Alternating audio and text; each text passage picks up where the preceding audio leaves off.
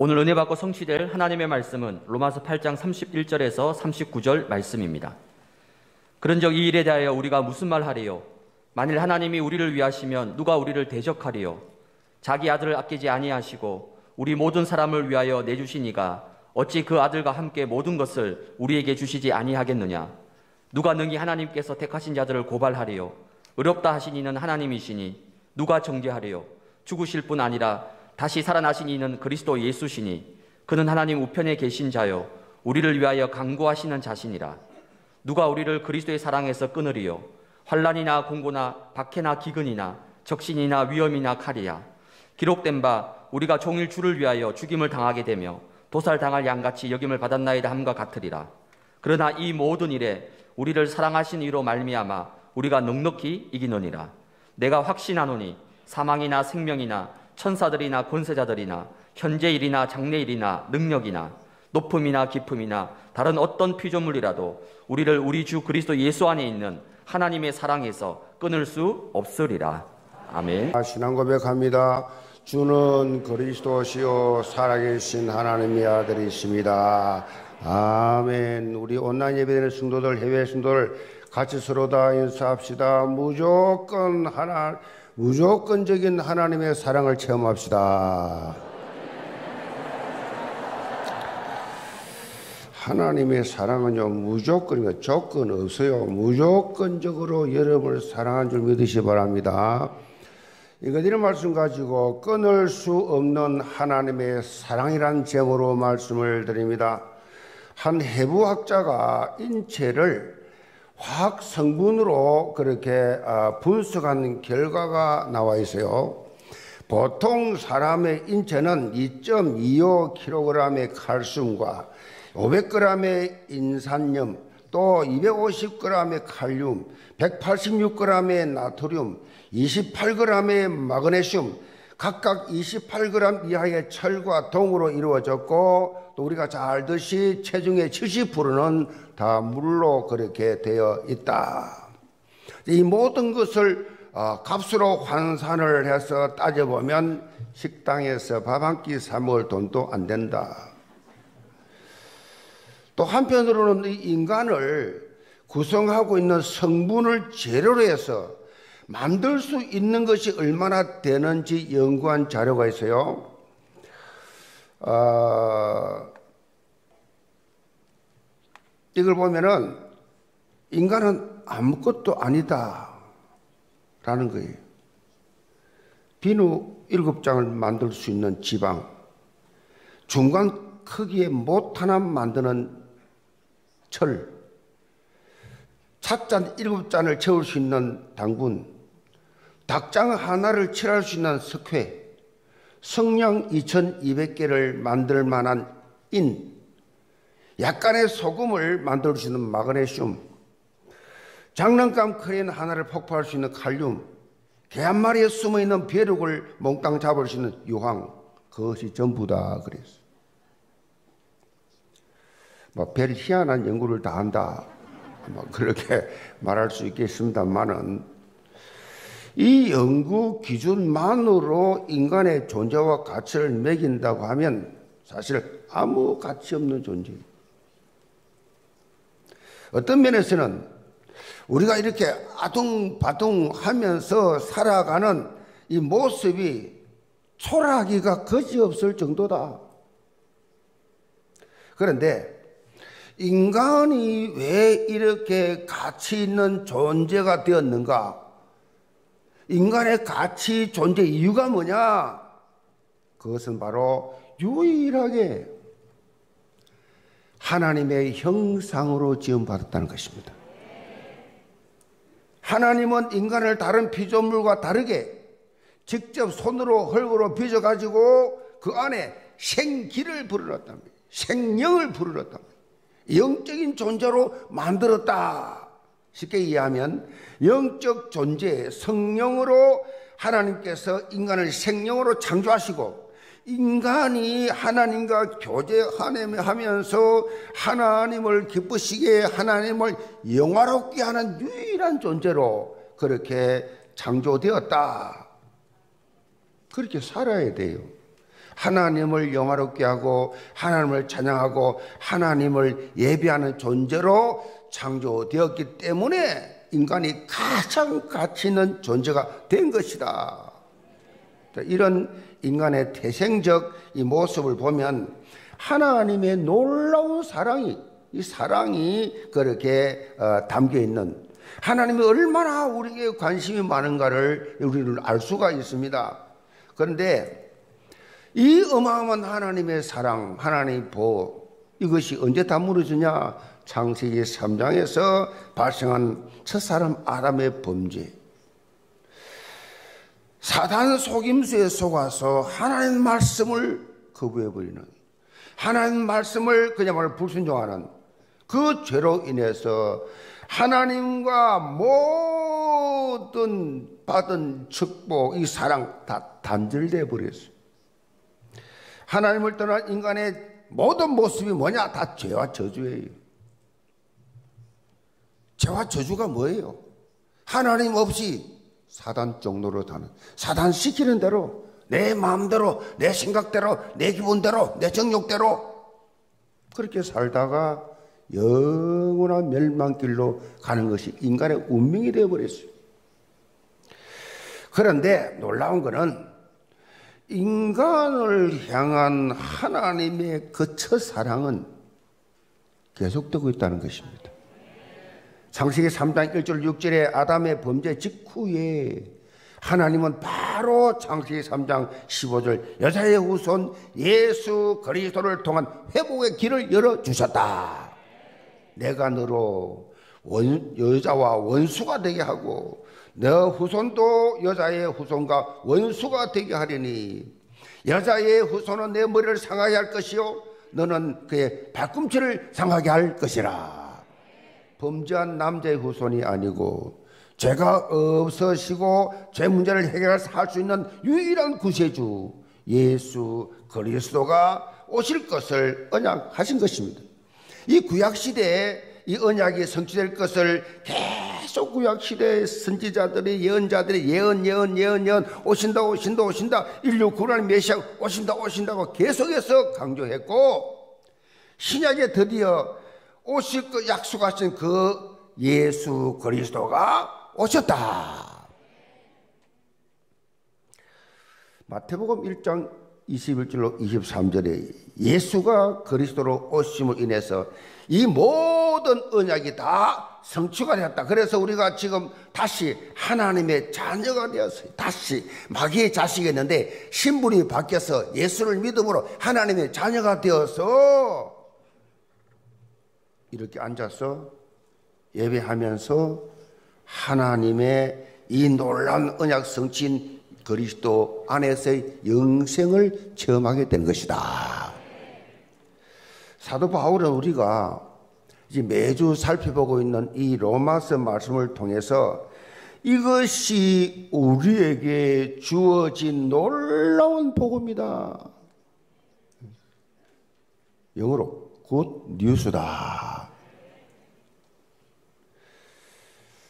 복음을 통해 주어진 구원의 축복이 얼마나 놀라운지, 얼마나 놀라운지, 그 축복의 자리를 다양하게 그렇게 다양한 각도로 접근하면서 이 구원의 축복을, 구원의 감격을 설명을 하고 있어요. 오늘 살펴볼 이 말씀은요, 로마서 8장의 드디어 마지막 부분입니다. 로마서 8장 한 장만 있으면 구원받는다 그랬지요. 성경 다 없어도 로마서 8장 한 장만 있어도 우리가 구원받을 수, 구원받고 자유하고 누릴 수 있는 만큼 엄청난 메시지가 이 속에 들어있는데 이 8장 마지막 부분. 이 사도 바울은 로마서를 마무리하면서 구원에 대한 확실성에 대해서 그야말로 확신에 찬 선언을 얘기하고 있어요. 그 어느 것도 그 누구도 구원받은 우리를 우리 주 예수 그리스도의 사랑에서 끊을 수 없으리라. 예수 그리스도 안에 있는 하나님의 사랑에서 우리를 끊을 수 없다. 그 누구도 그렇게 선포하고 있어요. 하나님의 사랑의 신실성, 영원성, 절대성에 대한 이 완전히 이것을 우리에게 지금 각인시켜 주고 있습니다. 구원받은 하나님 자녀가 이 땅에 살면서 절대로 놓치지 말아야 될 부분이 이 부분이에요. 하나님의 자녀와 불신자의 가장 이큰 차이가 뭡니까? 불신자들은 아무리 똑똑해도 아무리 잘나도 하나님의 사랑을 알지 못해요. 그런데 우리 하나님의 자녀는 끊을 수 없는 하나님의 사랑을 늘 생활 속에서 체험하고 살고 있습니다. 이게 차이입니다. 여러분은 하나님의 사랑이 어떠한지, 하나님의 사랑이 나를 사랑하는 것이 얼마나 큰지, 예수 그리스도를 통해 주어진 그 사랑의 높이와 넓이와 길이와 높이를 체험하고 있는가? 얼마나 삶 속에서 하나님의 사랑을 그리스도의 십자가의 사랑을 체험하고 살고 있는가? 스스로 한번 질문해 보세요. 때로는 문제와 사건 때문에 그야말로 어떤 사람 때문에 정말로 어려움을 많이 닥칠 때에 하나님이 정말 계시는가? 억울한 일을 당하고 생각도 하지 못한 문제가 터졌을 때 하나님이 정말 나를 사랑하기를 하는가? 이런 의심을 품지는 않습니까?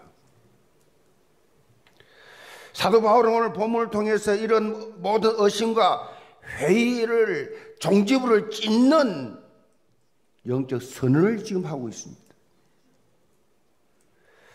본문 말씀을 통해서 영계 모든 성도들은 하나님이 우리에게 주신 보여주신 이 놀라운 이 사랑이 무엇인지 다시 확인하고 생동감 있는 현장 변화의 지역들 되시기를 제물로 축복합니다. 그럼 첫째로 영적 확신의 삶이에요. 31절입니다. 31절 그런 적 일에 대하여 우리가 무슨 말하리요? 만일 하나님이 우리를 위하시면 누가 우리를 대적하리요? 그런 적이 일에 대하여 이 일에 대하여 우리가 무슨 말하리요? 바울이 밝히고 있는 이 일은 우리를 구원하시기 위한 하나님의 구원 사역을 말씀하고 있습니다. 본문 29절로 3절에 보면 이 일이 무엇인지 아주 잘 요약해 놨습니다. 하나님이 미리 아신 자들을 또한 그 아들의 형상을 본받기 위하여 미리 정하셨으니 이는 그로 많은 형제 중에서 맏아들이 되게 하려 하심이라 또 미리 정하신 그들을 또한 부르시고 부르신 그들을 또한 어렵다 하시고 어렵다 하신 그들을 또한 영화롭게 하셨느니라 이 말씀은 구원의 순서 구원의 여정을 보여주는 다섯 가지 여정이에요 보시면 처음에 하나님께서 사람들을 미리 아셨다, 미리 아셨다. 이것을 예지라고 합니다. 예지. 미리 정하셨다. 예정이라고 합니다. 부르셨다. 소명이라고 합니다. 어렵다 하셨다. 어렵다. 칭이라고 합니다. 영화롭게 하셨다. 영화.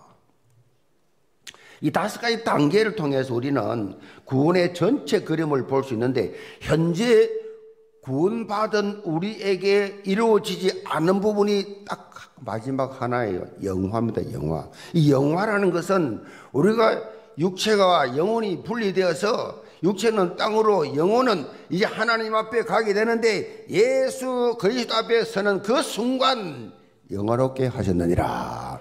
영화의 이 놀라운 어 이제 장면을 여러분이 체험하게 될 것입니다. 이 말씀을 통해서 우리는 우리를 구원하시기 위한 하나님의 놀라운 사랑을 볼 수 있어요.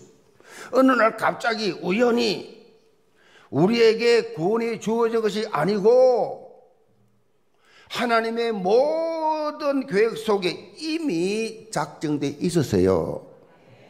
내 친구가 우리 가족이 누가가 아니라 여러분은 구원받도록 이미 오래전에 영세 전부터 예정되어 있었어요.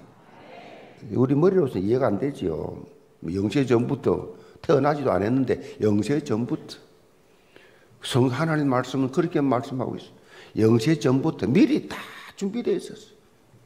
여러분이 똑똑해서 잘났어 불교 할라다 청주, 청교 할라다 기독교인 거 아니에요.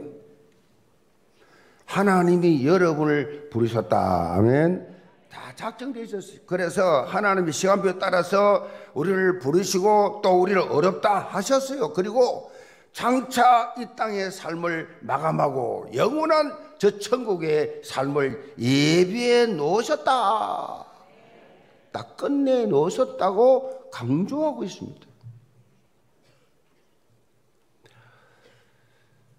특별히 오늘 이 모든 말씀 표현을 보면 전부 다 뭐냐? 과거형이에요, 과거형. 뭐, 과거형이 무슨 말이냐? 하나님께서요, 이미 다 여러분의 영원한 영화의 단계에 들어가도록 이미 다 준비해 놓으셨다. 우리가 할 게 아무것도 없어요. 그냥 믿으면 돼요, 그냥. 다해 놓으셨어요. 우리 할 게 뭐가 있어요? 하나님께서 이 정도로 확실하게 해 놓으신 일을 이걸 가지고 왜 의심하느냐? 이거 질문이에요. 왜 의심하냐? 네 모습 보고, 네 능력 보고, 네 환경 보고, 네 수준 보고 왜 의심하냐? 의심하지 마라. 바울은 이런 하나님의 사랑 구원의 확실성에 대해서 반복적으로 강조합니다. 그런 저 일에 대하여 우리가 무슨 말하리요? 만일 하나님이 우리를 위하시면 누가 우리를 대적하리요? 누가 능히 하나님께서 택하신 자들을 고발하리요? 누가 정죄하리요? 우리 구원은 확실합니다. 구원이 흔들리면 안 돼요. 확실합니다. 부르심도 확실합니다. 직분도 확실합니다. 하나님이 주신 것. 하나님 자녀를 절대로 이 세상에서 여러분을 흔들 자가 없다. 절대 하나님이 나를 선택하시고 나를 부르시고 구원했다는 사실에 대해서 흔들리면 안 돼요. 아이고, 내가 죄, 죄가 많아서 내가 천국이나 가겠나? 내가 죄가 많아서 하나님 내게 관심이 있겠나? 내 기도를 들어주겠나? 이런 의심을 하지 말라는 얘기예요. 그 사단이 주는 다 가라지예요. 사도 바울은 지금 예수 그리스도를 통해서 창세기 3장 모든 죄와 저주 문제를 해결받았음에도 불구하고 불구하고 자꾸 속고 있는 부분에 대해서 반복적으로 반복적으로 거기서 벗어날 것을 강조하고 있어요. 그 핵심이 바로 뭐예요? 정죄의식입니다. 이 정죄의식이 눈만 뜨면 짓는 게 죄인데 눈 감을 때까지 짓는 게 죄인데 심지어 잠자면서까지 짓는 게 죄인데 그 정죄의식에서 자빠져서 있으면 아무것도 할 수 없어요. 사단이 하는 거 하나밖에 없어요. 계속 정죄의식 심어주는 겁니다. 정죄의식 심어줘. 사단은 계속 너 죄인이라고, 너 나쁜 놈이라고, 너 죄만 해서는 아무것도 안 되다, 너 하나님 너 구원 안 해준다고 계속 강조하지만은 하나님 뭐라 하시냐? 끝냈다, 끝냈다 그러고 있어요. 내가 네 문제 다 끝내줬다. 계시록 12장 10절에 보면 사단은 이 우리를 하나님 앞에서 밤낮 참소합니다. 밤낮 고소를 해요. 밤낮 참소를 한, 하고 있다고 밝히고 있어요. 그런데 이런 사단의 이 참소는요, 예수 그리스도 앞에서 완전히 무력화됩니다. 아무리 고소를 해도 소용이 없어. 요한일서 2장 1절에 밝히고 있어요. 만일 누가 죄를 범하여도 하나님 앞에서 우리에게 대언자가 있으니 곧 어려우신 예수 그리스도라. 우리를 향하신 하나님의 이 구원 계획은 완벽한 것이고 그 누구도 우리를 고발하고 정죄할 수 없다. 이 사실 믿으시 바랍니다. 하나님께서 우리를 어렵다. 하나님 우리를 어렵다 했는데 누가 정죄할 수 있습니까? 여러분이 어려운 자가 아니면 천국 못 가요. 하나님이 왜 아담을 거부했습니까? 왜 쫓아냈습니까? 이런 동산에서 죄를 지었어. 그 죄 때문에. 하나님 말씀을 거부했기 때문에 사단에게 속아서 거부했기 때문에 쫓겨난 거예요. 못 들어가요. 천국은 죄 있는 사람 못 가요. 우리가 어떻게 천국 갈 수 있냐? 예수를 믿음으로 예수 그대 십자가 보혈로 제 시점 받았기 때문에 우리는 어렵게 된 거예요. 거듭났다. 그래서 우리 천국 갈 수 있는 것입니다.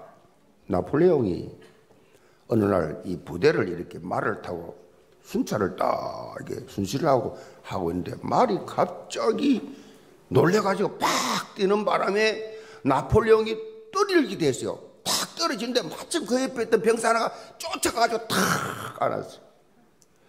큰 부상을 당할 뻔했는데 이 병사가 딱 잡았단 말이에요. 일어나면서 나폴레옹이 뭐랬냐. 대위, 고맙네. 그랬어요. 그러니까 이 병사가 황제에 그랬습니다. 아니, 펴! 저는 병사입니다. 그러니까 나폴레옹이 웃으면서 오늘부터 너는 대위야. 그랬어요. 오늘부터는 대위야. 대로 임명한다. 그랬어요. 이러니까 졸지의 병사가 그날부터 대위가 됐어요. 그래서 대위급장 딱 따고 딱 다니는데 그 부대 소대장이 딱 보니 야 인마 이리 와. 너 미쳤어? 누가 너 대위라 했어? 누가 너 대위야 너가 사병이 말이야. 금방지게. 이러니까 사병이 그랬어요. 폐하께서 제게 오늘부터 대위하라고 겹장 따라줬어요. 할 말이 있어요? 아니 왕이 달아줬는데 할 말이 있냐고요? 꼼짝 못하지요. 아, 황제가 임명했는데 어느 누구도 토를 달 수 없습니다. 영적으로 마찬가지예요. 하나님께서 나를 어려운 자라고. 아니, 세상 사람들이 다 아는 죄인인데, 어? 심지어 전과가 있는 죄인인데, 놀라지 마세요. 보험의 능력이 얼마나 큰지. 고재봉이가 한 가족을 다 도끼로 다 죽였어요. 교도소 갔어요. 거기서 예수 영접했어요. 거기서 하나님 자녀 됐어요. 매일 예배 드립니다. 한 가족을 다 죽인 살인범, 사형수도 예수 믿는 순간에 의인이요. 그게 복음의 능력입니다. 그게 다른 종교와 다른 거예요. 의인이라고 했는데 누가 정죄해본도 소용이 없어요. 사단이 아무리 공격해도 아무 소용 없어요. 여러분, 사단이 시비를 건다고 해서 여러분이 흔들리면 안 돼요. 눈 꼼짝할 필요가 없습니다. 믿음의 눈으로 모든 것을 바라보시 바랍니다. 모든 사건, 모든 문제, 모든 사람, 믿음의 눈으로 봐야 돼요. 그래야 성령인도 받아요. 미움의 눈으로 바라보면 성령도 못 받아 사단인도 받게 돼요.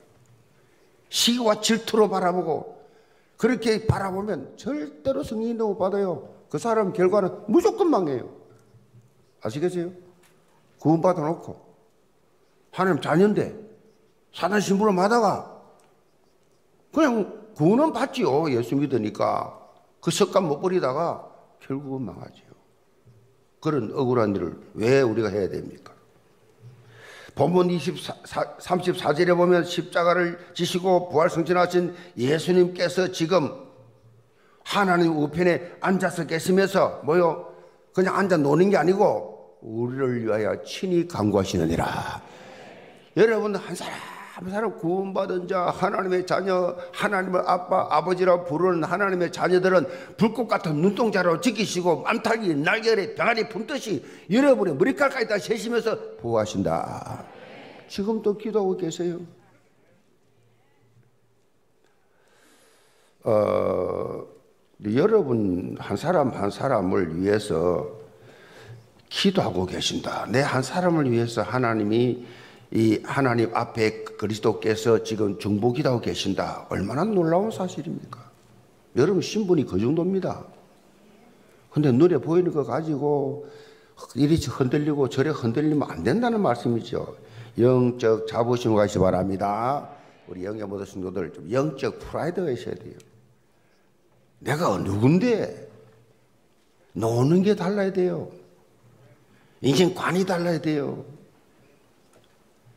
서장 이런 가지고 중리 산이 그런 수준이 아니에요, 여러분. 사단에 속은 거예요.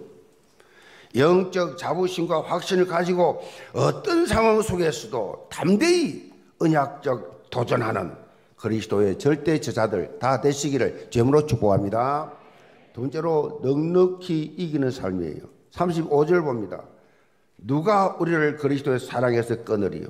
환란이나 공고나 박해나 기근이나 적신이나 위험이나 칼이라. 기록된 바 우리가 종일 주를 위하여 죽임을 당하게 되며 도살 당하는 양같이 여김을 받았나이다 함과 같으니라. 그러나 이 모든 일에 우리를 사랑하신 이로 말미암아 우리가 넉넉히 이기느니라. 사도 바울은 그 어떤 것도 우리를 그리스도의 사랑에서 끊을 수 없다 라고 그렇게 강조를 하고 있어요. 강조. 그러면서 우리를 순간순간 이런 하나님의 사랑으로부터 단절됐다는 착각을 착각을 가져오게 만드는 일곱 가지 요소가 있다 그랬어요. 착각을 일으키는 하나님 날 버렸다라고 착각을 일으키는 자 환란 그래서 환란 환란은 외적인 환경에서 오는 고난과 고통이지요 환란 또 고난은 공고가 뭐냐? 마음의 극심한 걱정과 불안이지요. 박해, 예수 그리스도 때문에 예수 믿는 것 때문에 오는 모든 고난을 말하지요. 기근, 이건 굶주림을 말하죠. 적신, 벌거벗은 벌거벗었을 말합니다. 그리고 위험과 칼은 각종 신변의 위협과 죽음 당하는 것을 말합니다. 이런 것들이 있는데 그러나 이 사도 바울은 이런 것들 설령 극단적으로 죽음을 당하는 극한 상황에 처한다 할지라도 그것이 결코 하나님의 사랑에서 끊어진 것이 아니다. 그래 순교하잖아요. 하나님 다 보고 계시잖아요. 스테반이 돌에 맞아 죽는 것을 예수님이 하나님 보자 우편에 일어서서 그랬어요. 앉아있지 않으시고 너무 스테반이 돌에 맞아 죽는 것이 영광 너무 감격해서 예수님 일어서서 보고 계세요. 스데반이 돌로 맞아 죽는 걸 예수님이 그거 멈추게 못합니까? 예수님이 그거 못, 못, 그걸 못 말립니까? 그런 능력이 없어요? 있어요. 그래서 스데반 순교해야 돼요. 왜? 2000년 동안 스데반 순교를 말하고 있습니다. 영광스러운 순교예요. 그냥 피했다고 하면 스데반 이름도 우리는 모를 거예요. 영원토록 평생 상급이에요. 여러분이 어려움을 당하고 있을 때 하나님이 버린 것 같습니까? 하나님 안 계시는 것 같습니까? 관심 없는 것 같습니까? 다 보고 계세요.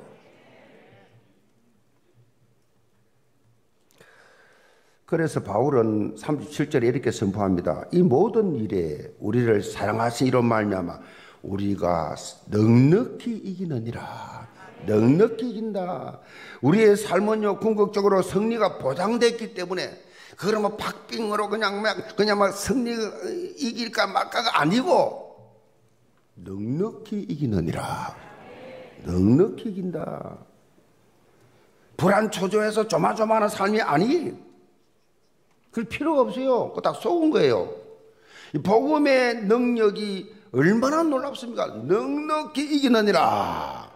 그래서 예수 믿는 사람은요, 복음 아는 사람은 여유가 넘쳐요. 뭐그 쩔쩔매고 무슨 그렇게 빌빌하게 그렇게 조급하게 사는 거 아니에요.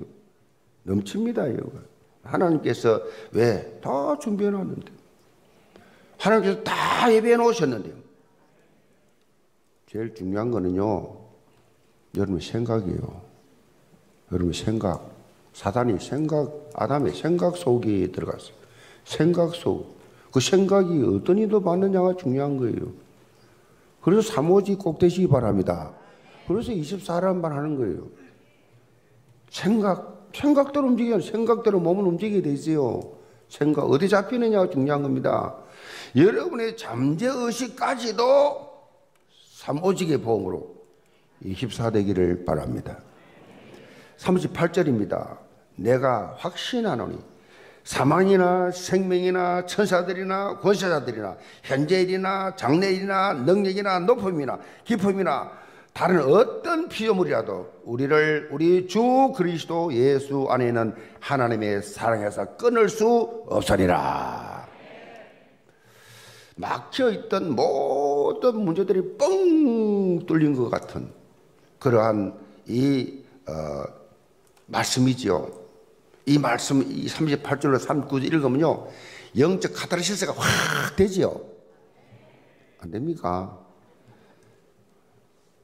너무 감격스러운 감당 못할 축복이라 멍합니까? 성도 여러분, 하나님 말씀을 그대로 믿으시기 바랍니다. 성도의 견인이라는 신학기 용어가 있습니다. 견인, 견인이라는 이 말이 있는데 안전하게 끝까지 지켜주신다. 그런 뜻이에요. 견인. 요한복음 10장 28절 29절에 보면 예수님께 친히 이 말씀을 말씀하세요. 내가 그들에게 영생을 주노니 영원히 멸망하지 아니할 것이요. 또 그들을 내 손에서 빼앗을 자가 없느니라. 그들을 주신 내 아버지는 만물보다 크시며 아무도 아버지 손에서 빼앗을 수 없느니라. 여러분을 빼앗을 수 없어요. 이보다 더 확실한 말씀이 어디 있습니까? 그 누구도 그 어떤 환경도 그리스도 예수 안에 있는 하나님의 사랑에서 우리를 끊을 수 없다. 이런 분명한 확신을 가지시고 승리하시기 바랍니다. 또 우리가 로마서 8장 이 말씀을 이제 다 기억하지 못해도 못해도 세 가지 선언만 제대로 여러분이 알고 믿고 고백하면 여러분의 삶이 어떻게 되느냐? 넉넉히 이기는 삶을 살게 돼요. 넉넉히 이기는 삶. 그 첫 번째 선언이 뭐예요? 로마서 8장 1절로 2절입니다. 지난 시간에 말씀드렸는데 같이 고백합니다. 시작. 그러므로 이제 그리스도 예수 안에 있는 자에게는 결코 정지함이 없나니 이는 그리스도 예수 안에 있는 생명의 승리의 법이 죄와 사망의 법에서 너를 해방하였습니다. 아멘. 생명과 승리의 법이 죄와 사망의 법, 죄, 사명 상관없어 이제는. 우리는 법적으로 생명과 승리의 법에 해당되는 사람들이에요. 죄와 사망의 법에는 상관이 없어요.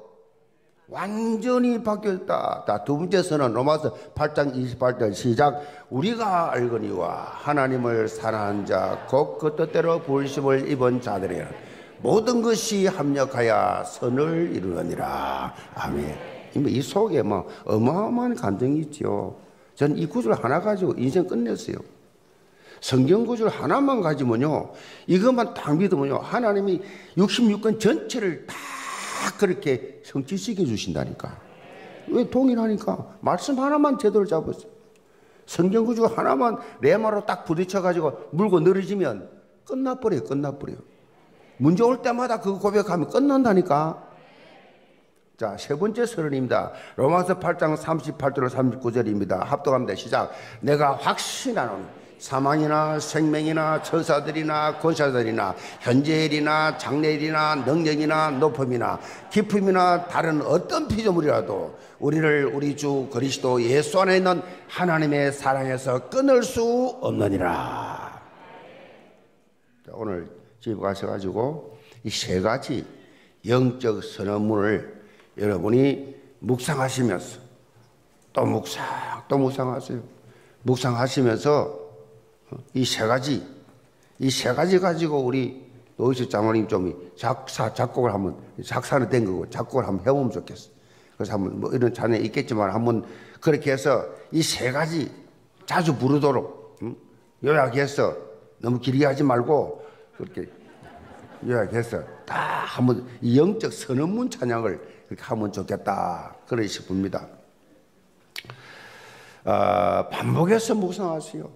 묵상을 하면 할수록 선포하면 할수록 속이 시원하고 뭐요? 새 힘이 솟아나는 그런 말씀이지요.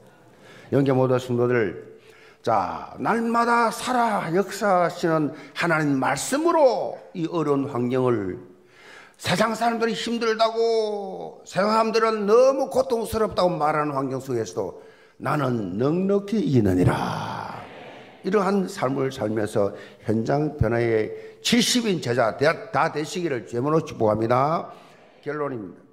상한 감정 치유라고 하는 유명한 책을 쓴 데이비드 시멘저라고 하는 분이 있습니다. 이 시멘저라는 분이 일생 동안 다양한 그러한 기독교인들 상담을 한 경험에 의해서 결론 딱 내렸습니다. 기독교인들입니다. 다른 사람들이 아니라 불신자 아니고 기독교인들만 상담을 했는데 상담한 결론 두 가지입니다.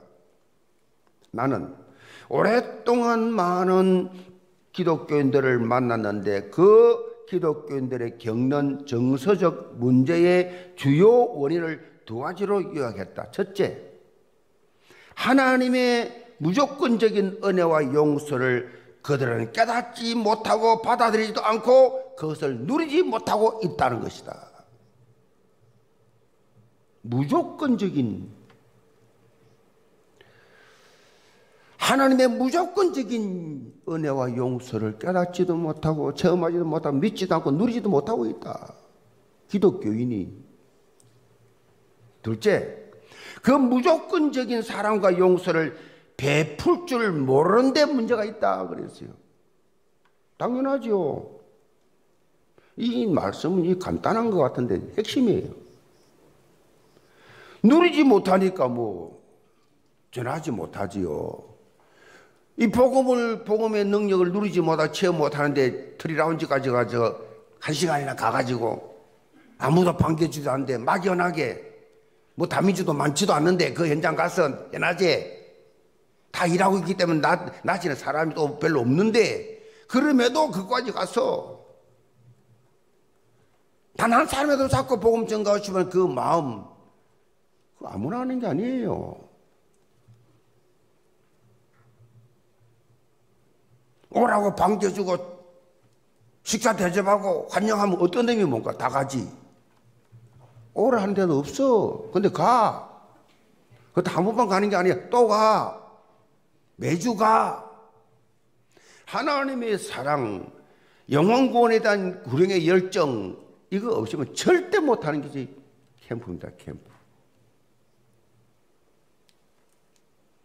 저는 이런 사역 보고서를 보면서 아 이분들은 이분은 하나님을 정말 사랑하고 하나님 은혜를 받고 정말 영적으로 깨어서 심지어 자기 문제 많은데 문제 뭐 가정 문제, 경제 문제, 질병 문제 많이 있는데 다 내려놓고 하나님의 사랑을 증거하는 그 자세를 볼 때 은혜 안 받고 할 수 있겠어요?